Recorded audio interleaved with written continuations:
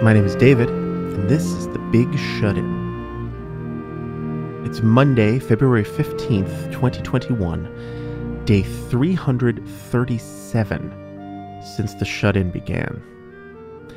And today, for those of you of the Catholic persuasion, is what you might call Lundi Gras, meaning the second to last day of the season of Carnival, the day before the day before Lent, meaning that tomorrow is, of course, Mardi Gras, the biggest party in a lot of places in the world, most especially in the United States, in the city of New Orleans, one of my favorite places. I think one of the most deeply interesting, specific, unique, magical places on this particular continent. And of course, Mardi Gras, like everything else this year, is not going to be the same as it normally is. Many in the city tried to ignore the beast known as Rona uh, for last year's Mardi Gras celebrations, and the consequences were pretty dire. Largely because of that, the the the parties, the celebrations, the drinking, the dancing, the parades, and all of those bodies pressed together, Louisiana generally and, and New Orleans specifically had just an astronomical and, and horrible death rate last late spring and summer. And so, what is Mardi Gras going to look like this year? What are they going to do tomorrow in that wonderful city? Nothing? Ignore it? That doesn't seem possible. Well, I was curious. I wanted to hear more about what life in New Orleans has been like since that last disastrous spring. And what is going to happen tomorrow? What are the plans? What are the ideas? And so I was very glad to have an opportunity to speak to Andrew Ward, PhD, who, as you will hear, is a man of great energy and boundless enthusiasm for his adopted hometown, and someone who had quite a lot to say about what is going on in New Orleans right now, what has been going on, what will be going on, and how that uniqueness and wonderfulness of that city is leading maybe not to just solutions for it, but maybe to emotional, spiritual solutions for everybody. Who knows? Anyway, it was an amazing conversation, one I'm very glad to have had and I'm very happy to introduce you to Andrew. How are you doing? I'm doing great, David. I mean, I got to tell you, this is the Big Easy Crescent City that care forgot beneath the sea. And I don't know how I would be anywhere else on God's green earth. How are things? So I'm curious to know what's different tonight than, say, this same night two years ago. Oh, man. Well, you don't have to go two years back. All you have to do is go back to last year on Lundi Gras you know, one thing that a lot of people don't know is that Carnival is not just Mardi Gras. It's not just Fat Tuesday. You know, it's it's it's uh, over two months of nonstop celebration, hundreds of parades, not just one day, and you know, hundreds of thousands of revelers who are members of many, many, many different crews, K R E W E S, and it built and built and built. And you know, the one prevailing sentiment of people living in New Orleans is, you know, uh, to hell with tomorrow. There is today. Après moi le déluge, and the no. Le and so we get to Carnival Day, and it was an, its usual explosion of love and fanatical exuberance and costumes and joy. And there were many, many, many people who dressed in costumes, sort of mocking the coronavirus. And, you know, the sort of dark joke about it since then is like, well, that costume didn't age well. I hope you've managed no. to scrub the internet of all the photos, you know, that were taken of you at that point. But it was really in the immediate aftermath that the severity of the situation started to kick in. And, you know, even even on Ash Wednesday, New Orleanians are still saying, well, what's the next celebration? What's the next party? And it's going to be French Quarter Fest and it's going to be St. Patrick's Day. All those got canceled. And that was really the first day that New Orleans woke up and said, when our mayor, Latoya Cantrell, canceled St. Patrick's Day festivities. That's when everyone kind of took a step back and said, whoa, whoa, whoa. So the your initial question that I'm giving you an extended answer to was what was it like a year ago? It was its usual magnificent magical buildup to a explosive climax of celebration, which then sort of yielded a global hangover. And then to pick up the ashes and say, wait a minute, we we've been doing other things, and now suddenly, you know, the the the dark horse and the dark rider are entering our parade, and they weren't invited. You know, uh, how many people already had it and were transmitting it, and what are the effects of it as a result? So uh, you know, when the first, I mean, here I know it's it's it was ironic that, that the time frame you're talking about because sort of February, March is when things first started getting scary here. You know, January we were all sort of laughing about it too. You know that this is just it's you know it's a joke. It's whatever. Four people in Italy. Who cares? And then it, it, there was that sort of six week ramp up or something, five week when everyone was, oh my god, like this is this is a thing here. And was there any sort of sense of impending, perhaps? Doom. Yeah, like up coming up to Mardi Gras last year. Was uh, were there any naysayers, or was it really just universal? Ah, whatever, we'll party through it. It'll be great. Uh, it was overwhelmingly. I mean, we we have a, a, a general mentality here in the you know the city that care forgot, which is you know we don't fear hurricanes, we drink them. And you know, huh. is there a, a pandemic? Yeah, we've been through a few. We're equipped to deal with hardship, tragedy, fear. Everybody kind of woke up a little blearily and said, well, this might be different.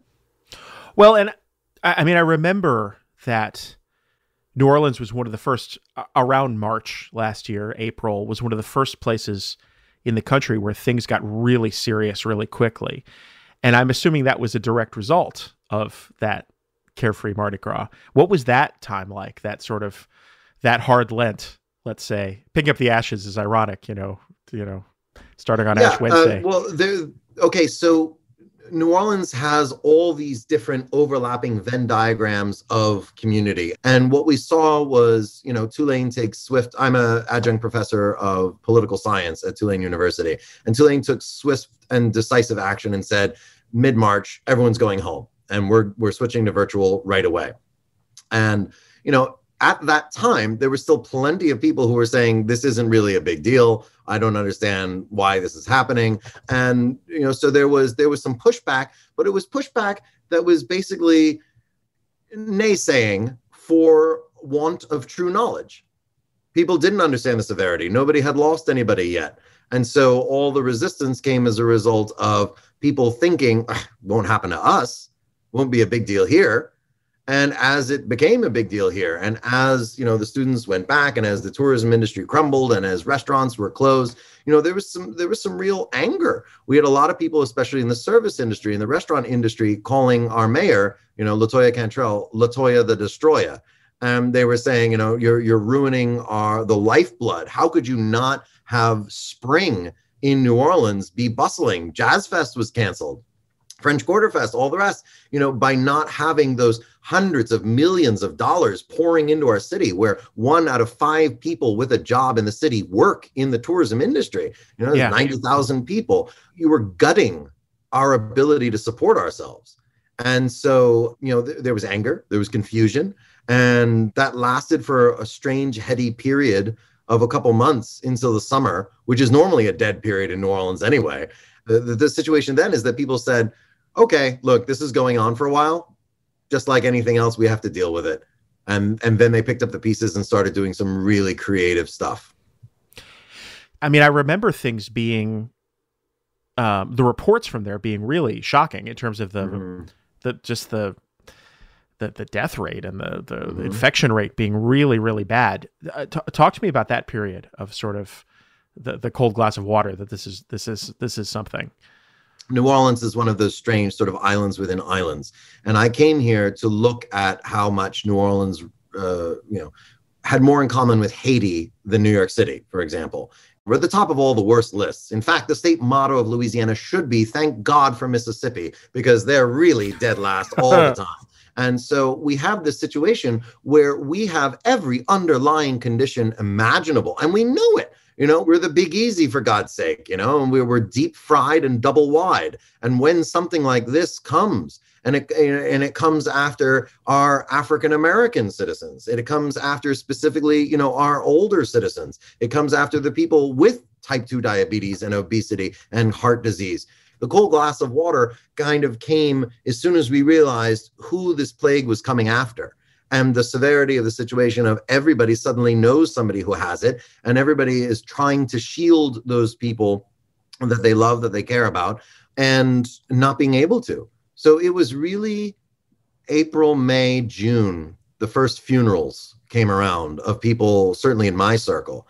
It closed in mask of the red death style the idea that this was something that couldn't be shut out with all the reveling and merrymaking in the world. This wasn't something that was geographically limited, and that it was going for our culture bearers and it was going for the people that make New Orleans what it is. So we needed to circle the wagons and do everything we could in order to preserve them.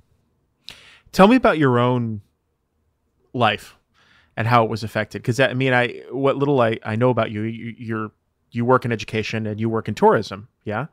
Right. And so what did you do during all of this? What did you what what what became what became of you in in the play? What what what were the entries in your plague diary here? I have kept a journal every day of my life since I was 14 years old. Wow. I'm now 42. And, Let the record show I did not know that when I made that. Uh, wow. Okay. Well, there you go. As the Samuel Pepys of Lake Pontchartrain, uh, what do you tell me about? But same question though. Tell tell me about the changes your life was forced to take and what what your experience has been in all this. Yeah. Okay. So I, as a as a geographical um, as a social nomad over the course of my life, I'm the son of you know of, um, diplomats, and so I grew up moving every three to four years, different language, different culture, different part of the world. And then I finally found the place that I loved. I found New Orleans, and I was supposed to be here for one year. And then when Katrina came, and the one place that I ever loved more than anything in the world now looked like it was on the razor's edge of total destruction. And, you know, the like finding your one true love, and then, you know, she disappears forever. I was committed to rebuilding the city. In the aftermath of Katrina, and I think this is an important distinction. I'm not answering your question quite yet, but bear with me. Uh, in the aftermath of Katrina, one of the things that we had was the ability to get together. We had no electricity, we had no power, we had no roofs over our head, we had no civil services, we had no sense of security, but at least we could grab on to somebody else in the sweaty, murky, moldy mildew after the city was destroyed and, and hug them. And that sense of contact and connection was absolutely fundamental in rebuilding the city.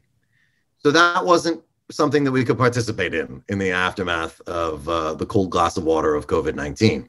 So, what did we do? We use the you know trite overused phrase of pivot. How can you connect with as many people as possible in a way that is safe for them?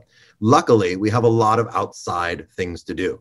So we've, you know, you've got City Park. We've also got City Park. Ours is the fourth largest municipal park uh, in America, and people would congregate there for socially distant barbecues and family reunions you know we had uh, in my own garden we we built a guillotine and we uh, you know uh, we, we, we slaughtered a few watermelons representing covid-19 in effigy and then you know uh, uh, preach you know to the no good very bad evil horrible grinch who tried to steal carnival. You know we were going to move forward we were going to move past this and people found ways of connecting. We had uh, so i live right on bayou st john and about a quarter mile down, there's this lovely house that would have live music every night, and people would paddle down in their kayaks, and they could be socially distant, they could be outside, and they're on the water, and there'd be hundreds of people all out there listening to live music being played to them. It, it was a, a sense of normalcy that was somehow even cooler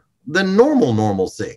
And people didn't want to waste a minute because, you know, eat, drink, be merry at any moment in time it might not be your mama anymore. It might be you. So that's what I was doing, and that's what my wife was doing. And then it was right in the middle of that we found out we were pregnant. wow. Yeah, what was that like? What was is this your first child? Yes, it is. Yes, it is. Well, I have, so, I have three dogs, a cat, and six decorative show hens, but this is my first human child. The uh I mean, I, I, guess you have nothing to compare it to, but it, it strikes me that the experience of pregnancy, birth, in all of this must have been a thing to go through. Oh, absolutely. And you know, the the funny thing is we have we have so many friends who uh also managed to get pregnant right around the same time, you know? Uh stuck in one bedroom, baby boom comes soon. That's what that's what happens. Wow, right. Well, I mean, what what else is there to do, I guess. So tell me let's let's go back to where we started so a bit. So tell me now this t- today what what is what does this carnival look like? Mm. Okay. Carnival has been canceled 13 times in the history of New Orleans. We're no strangers to having to do this historically. It's in our DNA. The city burns down multiple times. We have hurricanes and all, all kinds of things that happen. The difference about the plague, where you can't actually be with other people and squeeze them and lick their armpits and do all the things that we would normally do, generally means that we have to find creative other ways of of still having that carnival spirit. And the the people of new orleans have sort of adopted the mantra of the mardi gras indians you know won't bow down don't know how.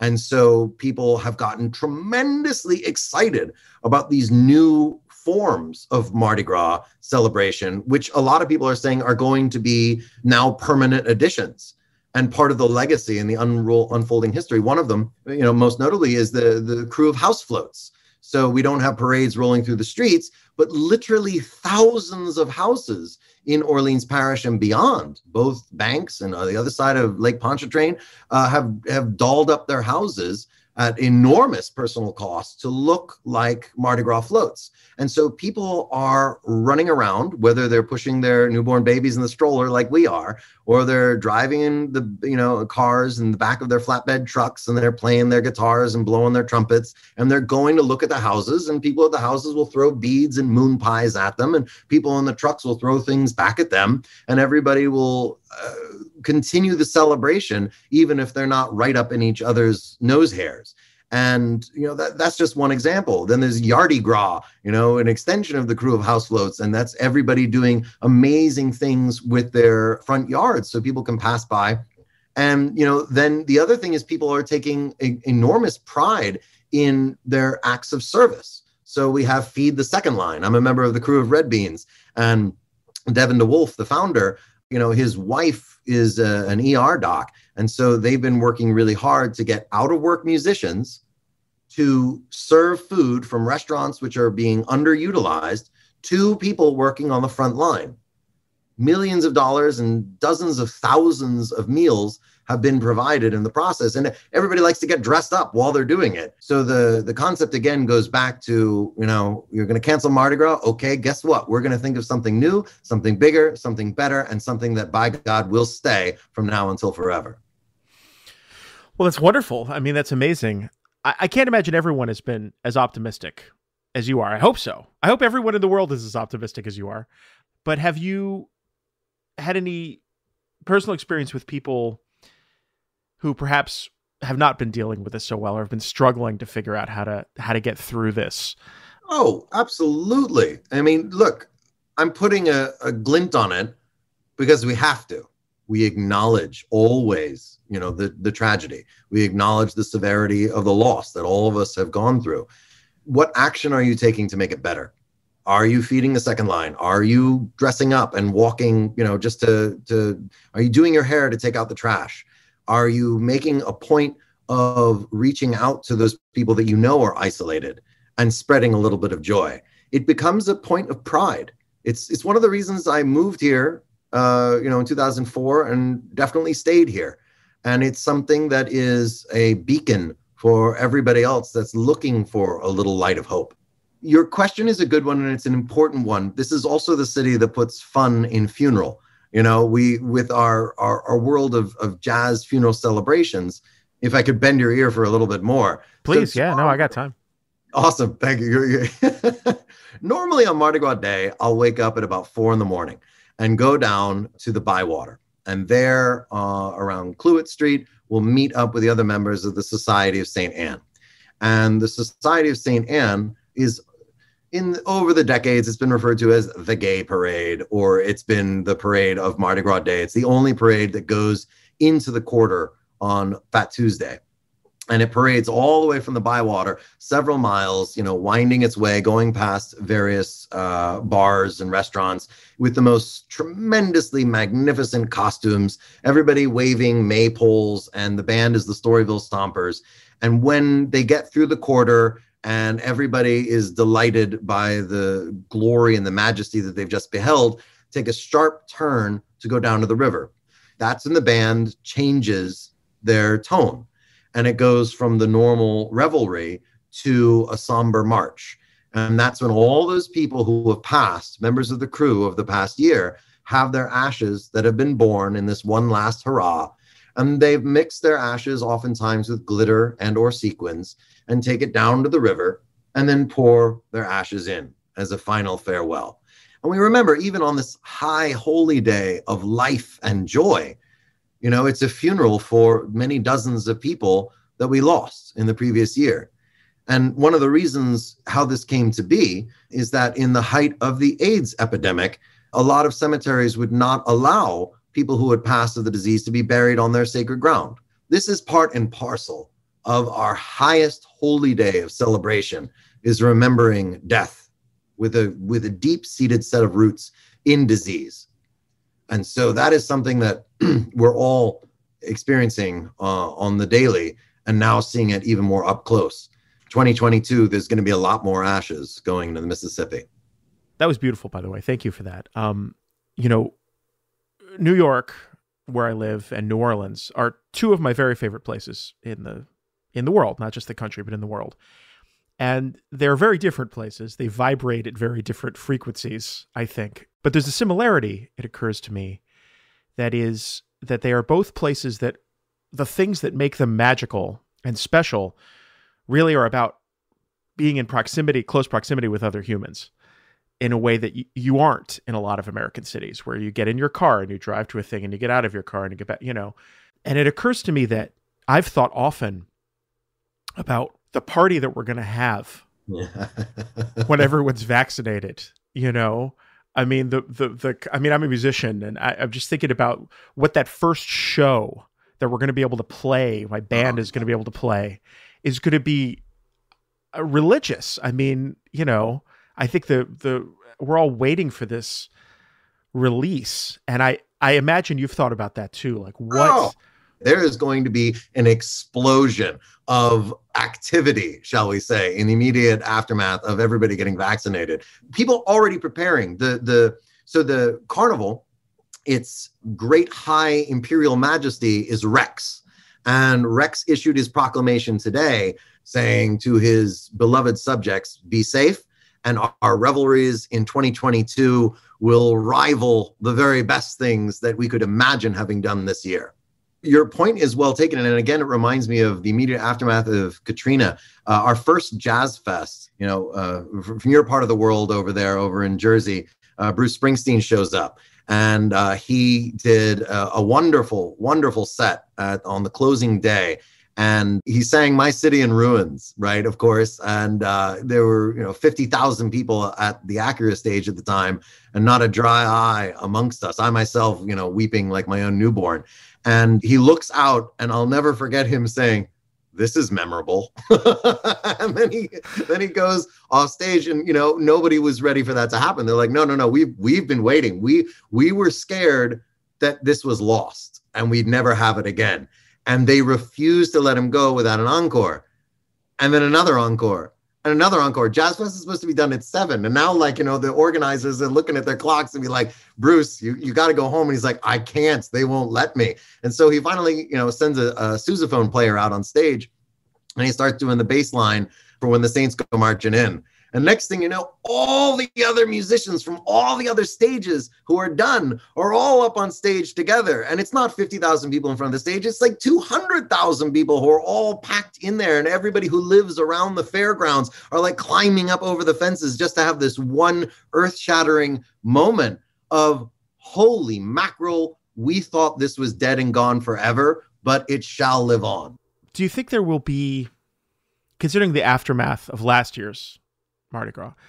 do, do you think there will be any hesitation, reluctance for people to, you know, uh, do you think it's going to be hard to convince people that things are back to normal? What what will back to normal? When when will we know things are back to normal? In your that's opinion? the that's the sixty four million dollar question, isn't it? Right? yeah. You know, uh, is it when there's a critical mass of people who are vaccinated? Um, also, who who else is coming to New Orleans? What what I mean, New Orleans is a tiny little blue island in an overwhelming red sea of scariness and horror, terror, you know, and on and on and on. I think there's going to be an avoidance of uh, certain sets of outsiders, and that's going to affect the tourism industry. I can tell you, as you meant, you you asked me earlier before. Um, you know, what what does it look like on the ground? You know, my my pedigree comes as a tour guide, and one of the things that was so striking is you you give a tour of the French Quarter, and you know here will be this this group of people. They have to wear masks because it's the law, and they can't buy their tickets unless they wear masks. But at the end of the tour, they come right up to you and they look at you and they hold that five dollar bill they're going to tip you, and they put the hand out almost as a challenge. Will you shake my hand, hippie scum? Will you touch me? You know, you're not going to get this. I'm going to wave it around like a bone unless you actually make physical contact with me because I don't believe in any of this. Beep. Let's talk about that. I mean, about that. That's something I've talked about before in, in other contexts of other parts of the country. But I mean, how are how are you handling the sort of? It's something I, I'm wishing somebody would tell me how to handle this. How do how do you how do you convince people that dead that the dead are really dead? How do you convince people that the sick are really sick if they refuse to open their eyes and acknowledge that? I mean, what do we do as a country, do you think?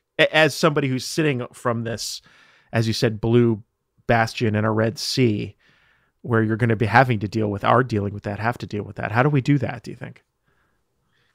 Uh, you're asking all the you know biggest, best, and most important questions, you know, for how we proceed going forward. Because Thank honestly, you. This, yeah, because it doesn't end here, does it, Dave? No, I mean it, it's it's not just a pandemic, and I hate to sound like I'm belittling this particularly horrible pox on the face of our history. But the pandemic is more symptomatic, or at least the response to the pandemic has been symptomatic of a deeper plague, of something far more horrible, which is distrust of science, which is distrust of knowledge, which is uh, you know a, a, failure of leadership. All of those things need to be addressed, and they need to be addressed from a perspective. One of the classes I'm teaching at Tulane now is the rise of Christian nationalism in America, and one of the things that we find is that there's a level of feeling completely disaffected, feeling trodden down by you, Yankee, North, you know, you coastal elite. And the only way that they have to rebel is to say, no, I won't wear the mask, rather than a meaningful participation in ongoing legal, you know, democratic process. So how do we address, you know, how people deal with the pandemic? Uh, Comrade Hoffman, uh, is huh. is really a deeper question of how do we deal with this division in America in terms of giving voice to even those whose voice sounds pretty horrible to most of us. Is that the answer? Is is the problem that people don't have? I mean, I've, you know, th- there was a um, there was a, a, picture the other day that I thought was a real that, that came out of Washington and it was it, may have been Marjorie Taylor Greene or it was one of these sort of new kind of QAnon Tea Party uh, Congress people, and and she was wearing a a mask on the floor of the the Congress that said, you know, you will not silence me or I I I cannot be silenced. And there's a person complaining that she did not have a voice while she was literally speaking into a microphone on national television. So, and it, you know, it strikes me that the problem is not that people. I don't know. It's not that people don't have a voice. It's mm. not that people aren't being listened to. They're, they've they've grabbed the microphone and they're the only people who have any had any voice at all for years now. So what is the problem if that's not the problem? Senior Hoffman, Comrade Hoffman, dear beloved one, you are making the classic age old error of confusing logic and reality with perception. And it doesn't matter if they do have a bullhorn. It doesn't matter if they do have their own news agencies, their own universities, their own think tanks, their own policy bureaus. All that matters is that they feel that people are looking down at them. They feel as if they don't have a voice in a system that can affect change. They feel under attack at all times. And therefore, they're going to find common cause with other people who are pissed off and not going to take it anymore. I mean, that honestly, at the end of the day, they have very little in common with each other except their anger. I mean, that's we're getting way down a rabbit hole here, but I mean, one of the more amazing things about Trumpism or whatever is that he has, to me, is that he has both Nazis and and Orthodox Jews. Yes, vote like it's incredible. It's not so incredible if we've been following the grievances that these people have been voicing for the last 40 years. We find it, it actually was an inevitable alliance. And there was there was nothing new that I heard Trump say or Steve Bannon or any of these other characters. And I don't believe this is a rabbit hole. I don't think this is off uh, kilter at all. I believe that New Orleans could be the antidote to the particular levels of horror that we're seeing on a national level because you know I, am a i'm a rotarian as well here and i have members of my rotary club that are to the right of attila the hun by and large you know their their concerns are not so very much a tribe apart and they can live peacefully and harmoniously in a town like new orleans because they feel like they always have an outlet. You know you the they have friends of other races and religions who will invite them over for dinner. But in New Orleans, we have, you know, the United Colors of Benetton. We have every color of the rainbow, and we got the Creoles who don't identify as African American, the African Americans who say, yeah, we're not like those Creoles over there. And you've got the Catholic and the Protestant. And the first Jewish people that came to New Orleans were Sephardic Jews. Successive waves of immigrants came in, and all the French and Spanish Catholics said, "All right, we'll take everyone of every color, but please no Irish." And, and so, and, but they came here in droves, and now that's part of the way overused term. I know, but I'm using it especially for a non-New Orleanian audience. The great seething, bubbling gumbo that is New Orleans. Is it off track? Is it down a rabbit hole? No, it is the solution for our nation in a troubled time. Well, I hope so. I mean, I. So I was last there in in your city in 2019 for mm. my 10th, 10th wedding anniversary. Hey, we mazel tov. Um, thank you. As two years ago, but uh, uh, and I, I had a, I had a moment there that I want to share with you. I'm enjoying this tremendously, so please. Uh, me too. Me too. So, as, as, I said, I'm a musician. That was my original profession. That's uh, very close to my heart, and I, I'm not a religious person, but I had what felt to me very much almost like a religious experience. And I had it I had it in Congo Square. Mm. And I don't know eh, because I I'd read the history which is not I think still very well known. Um, you should talk about it. Well, that this was, you know, this was the place where it was the, the one place in the entire entirety of North America that African people were allowed to keep their drums and play them. And so that was the place that those rhythms and those ideas about music snuck in by accident, by some, I don't know, legislative error that allowed this to happen. I mean, it was clearly, it's amazing that that was allowed to happen anywhere. But everything that I, you know, have loved in, music in my entire life and in American culture, everything that's great in American culture came from that spot, I think in in a lot of ways, right? And I think that's the underlying magic of New Orleans to me is that that's the place. Mm. That's the that's the root. That's the main stem of all of these beautiful things. I mean, there's no there's no jazz without that. There's no rock and roll without that. There's no Broadway without that. There's no there's none of this would happen without that. You know, things like you start studying about all how much of sort of redneck culture comes from Africa. Mm-hmm. Yes, yes. You know, banjo. in terms of well, sure, the banjos in Africa, absolutely, and the cooking, and the you know Southern food. Yes, was invented by Africans. Unquestionably. Know. Can we bring people to an understanding of that? Is that the answer in the long term? Is Congo Square the answer? resoundingly yes. Congo Square is the answer. Because uh, uh, Rampart Street, so named because it used to be a wall with ramparts on it, was the city limit for New Orleans. And so these people, these uh, you know enslaved individuals, were not allowed to congregate in groups of ten or more uh, without religious or political overseeing within the city limits. So they walk six blocks over to what's now Congo Square, and that's no longer within city limits. And hundreds of them met and they would play. Now they've just come out of church, so they've heard all these European melodies and they've got their drums, like you just pointed out, and now they're playing African rhythms and they're improvising. And my God, jazz is born. And then you've got all the Choctaw and the Tchoupitoulas and the Houma native tribes coming in and they're trading with them and they're exchanging ideas. And they're, of course, they're exchanging music. Everything we love about America comes from blending of cultures that have been traditionally oppressed. And so if we take your advice, Comrade Hoffman, and we say the Congo Square is the answer, then yes, that's our way out of the pandemic. That's our way out of depression. That is our way out of divisiveness, is finding those things that we love most and understanding where they actually came from. What are your plans for tomorrow?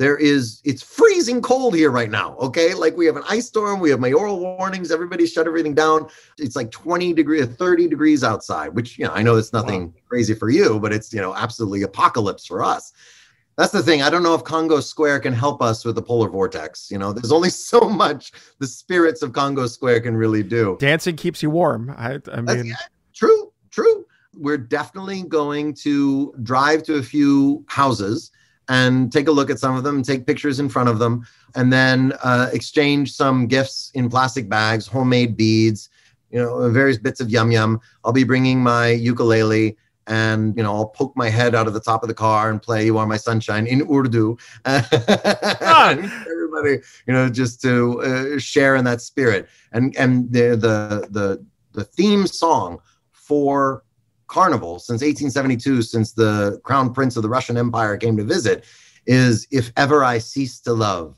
If ever I cease to love, if ever I cease to love, let the moon turn into a great cream cheese. If ever I cease to love, so let us always keep love in our hearts, and that is what we shall do tomorrow until the end of time. Joyeux Mardi Gras, Andrew. Thank you so much for talking to me today. I really appreciate it. I can't wait for you to come down and visit, see it for yourself, and then uh, perhaps we can make some music together. I. It's a date. Consider consider yourself engaged, sir